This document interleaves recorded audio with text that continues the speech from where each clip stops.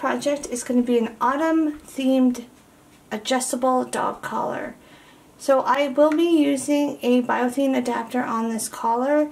If you're not familiar with a BioThane adapter, I will leave a link to a video that I have that I teach you guys how to make your own. You can use leather instead of the BioThane, but I like the BioThane just a little bit better. Don't get me wrong, leather looks awesome on a dog collar, but with BioThane you can just about always be able to match up the color to your dog collar as well as it's very very easy to clean and it's very sturdy. So I do like the BioThane just a little bit better. Um, but again, leather leather looks good on a dog. So um, I will leave a link below for you guys if you're interested. So the colors of cord that I'm going to be using on this collar are, this is a 550 paracord uh, burnt orange and that is what my double cow's hitch is hooked up to. I will leave another link below if you're not familiar with how to do a double cow's hitch. I show you how to do it on um, these square rings as well as on a quick release buckle. The square rings that I'm using here are 3 fourths of an inch and I have one on each side of, oh squeaky, of my um, setup. So again, this is 550 paracord in burnt orange. I'm also going to be using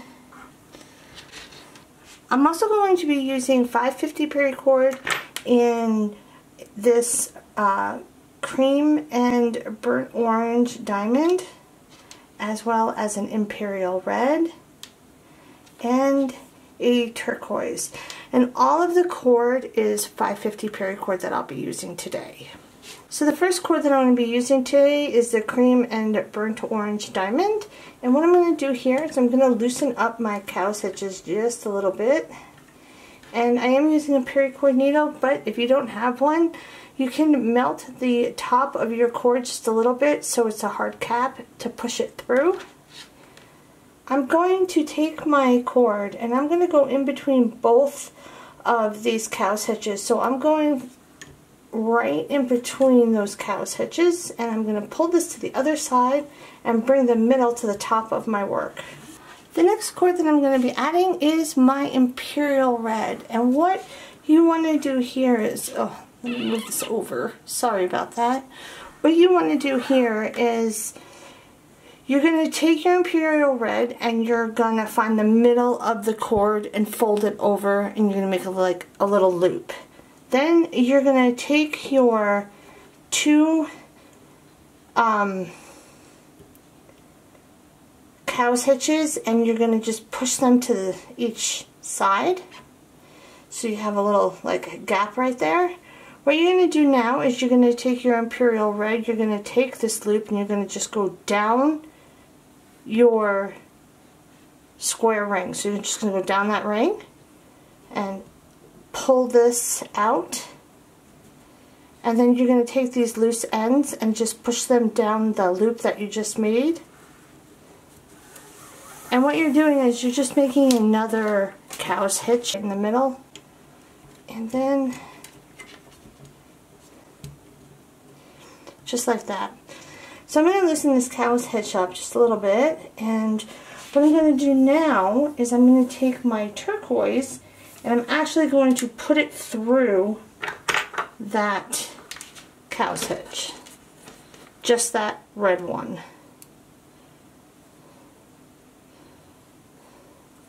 So I'm going to take my turquoise and I'm just going to go right in that cow's hitch, take it to the other side, bring the middle of the cord up to the top.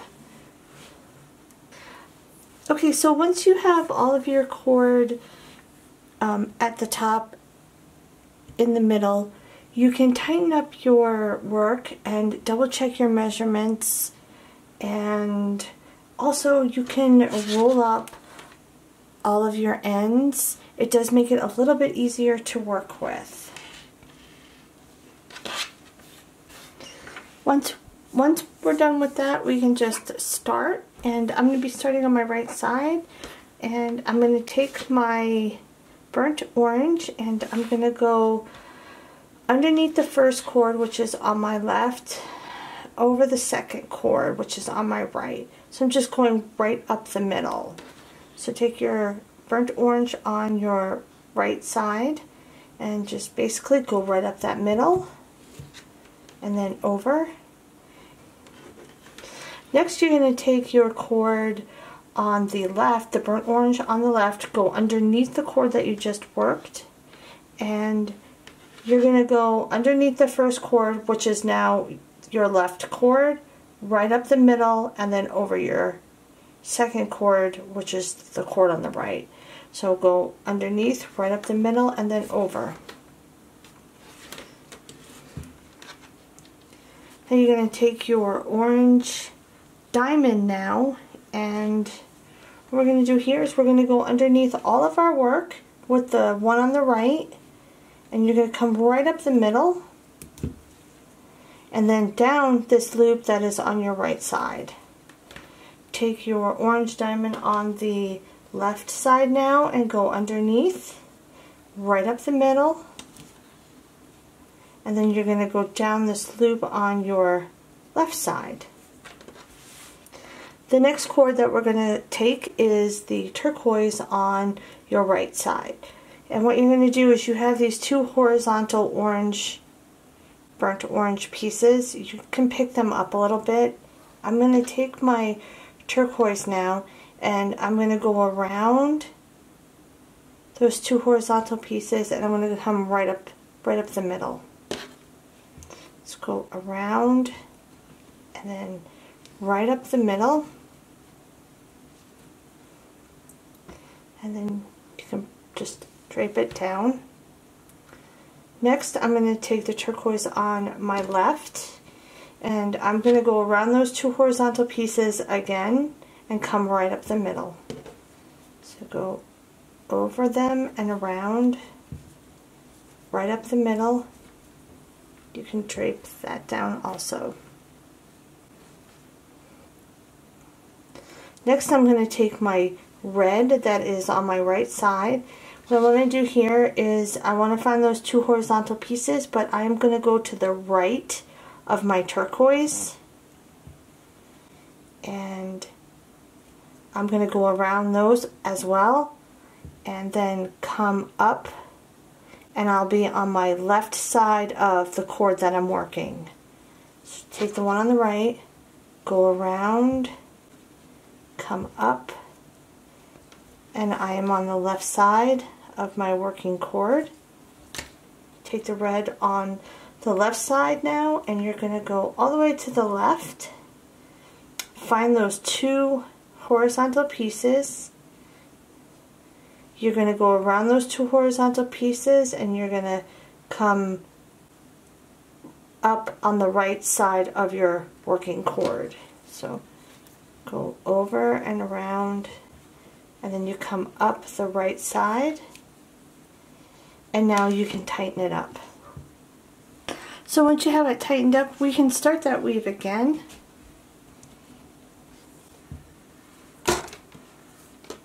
I'm going to start on my right side with my burnt orange and I'm going to go underneath that first cord, right up the middle, and then over the second cord. Then I'm going to take the one on my left now, I'm going to go underneath the cord that I just worked, right up the middle, and then over that second cord.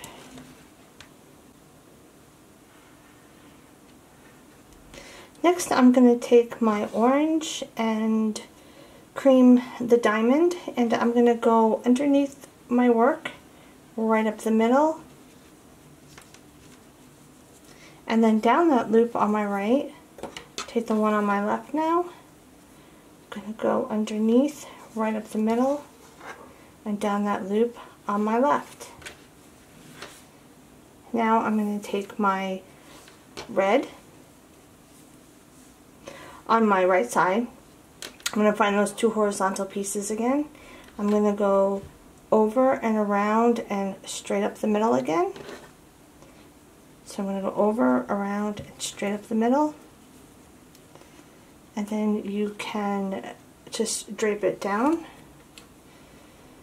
Take the one on the left.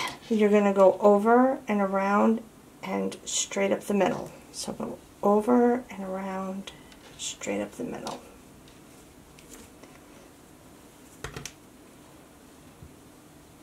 And now for the turquoise. So on this weave, I switched it.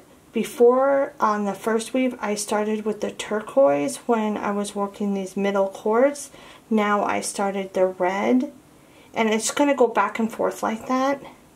So I'm going to take the turquoise now on my right side and make sure they're not twisted because when you pull them really tight, sometimes they can get squished and twisted.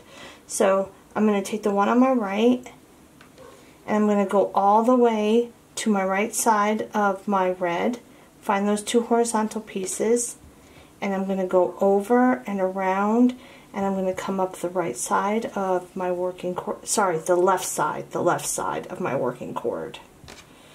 Next, I'm going to go all the way to the left now, take my turquoise on the left and I'm going to go around those two horizontal pieces again and I'm going to come up on the right side of my cord. So go over and around and right up. And now you can tighten it up. Okay, so once you have that tightened up, we can start again. I'm going to start on my right side with my burnt orange, and I'm going to go underneath, right up the middle, and then over my second cord. I'm going to take the burnt orange on my left and go underneath the cord that I just worked. I'm going to take this one go right up the middle again and then over that second cord. Next I'm going to take the orange diamond on my right side and what I'm going to do here is I'm going to go underneath all of my work right up the middle and then down that loop on my left side, sorry, my right side. Oh my gosh, I don't know my right from my left today. Um, I'm going to go down the loop on my right side. Next, I'm going to take the one on my left, go underneath, right up the middle again, and then go down that loop on my left side. Now I'm going to find those two horizontal pieces that are in the middle, pick up on them a little bit, and now I'm going to take my turquoise. It's the next cord over. Um, and like I said, it just, each time it's going to be um, switching. So before I did the red, this time I'm going to be doing the turquoise. My next weave, I'll be doing the red. So you just want to start with the one that's first that's coming out of the weave. So I'm going to take my turquoise on my right and I'm going to go over and around right up the middle and then I can drape that one down. I'm going to take the turquoise on my left side, go over and around, and then I can drape that one down. Now I'm going to go all the way to the right and I'm going to find the two horizontal pieces. I'm going to take my red on my right I'm going to go over and around and I'm going to come up and be on the left side of my working cord.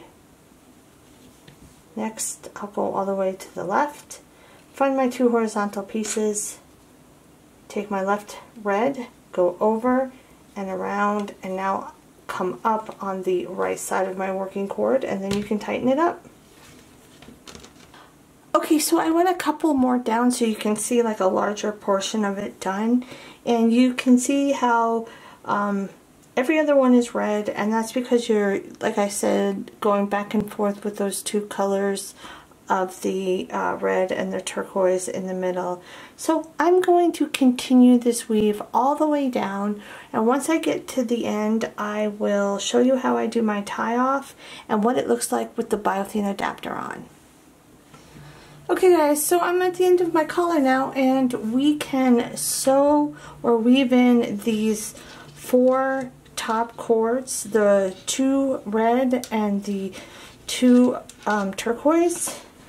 I did take it off the jig and I'm going to start with my red and I am going to be using a paracord needle. I am going to go right in this hole right between the two cow's hitches, just in that hole. I'm going to put both red cords through that hole. Next I'm going to take the turquoise and you have, you see you have a gap right here on the side, right, right in here. You're going to go in that gap with your turquoise and then you're going to have a gap on the other side right over here and you're going to take the left cord and you're going to put it through that hole. So you'll put the right through the right, the left through the left. By putting your cords through that way, you keep that design all the way to the end. And now we can uh, cut and melt the sides. So I definitely start on my sides. I, I think it's easier. So I'm going to cut about a quarter of an inch or so up.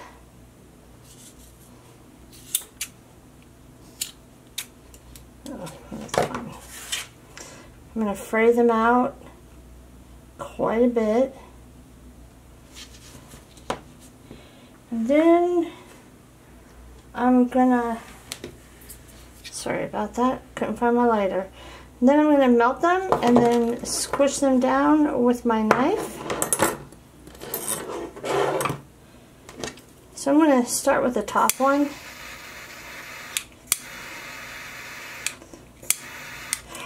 try not to let it catch on fire, but it does happen.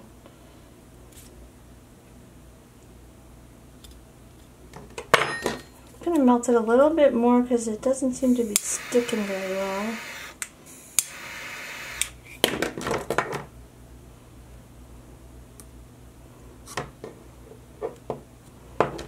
I'm going to do the same with the orange diamond.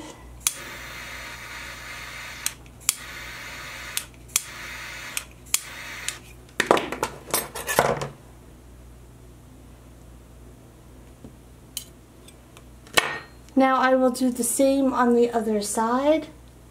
Once I've gotten both sides done, I will start in the middle. I'm going to start with my um, teal on my right.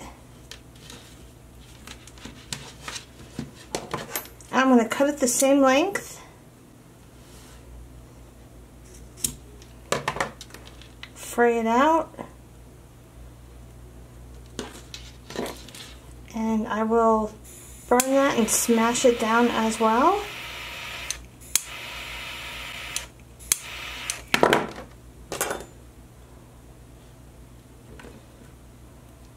And now I will do the rest of the cords. Okay guys, so once you finished melting it, you can use the collar as is.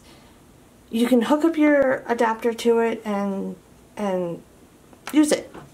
Um, I like to use a little bit of clear non-foaming Gorilla Glue on the ends that I um, burnt and, and melted down. And you don't need a whole bunch, but it's just like a little bit of an extra security. I don't want anything to come apart. And I've never had any problems. No customers have ever said anything or friends that I've given collars out to. Um, none of that, no, nobody said anything so far. And I haven't had any problems either. So, um, I, I just like to do it for extra security, especially because I do sell these collars. Uh, so, what I'm going to do now is I'm going to let this dry. Once it's dry, I'll show you guys what the finish looks like when I have the BioThane on.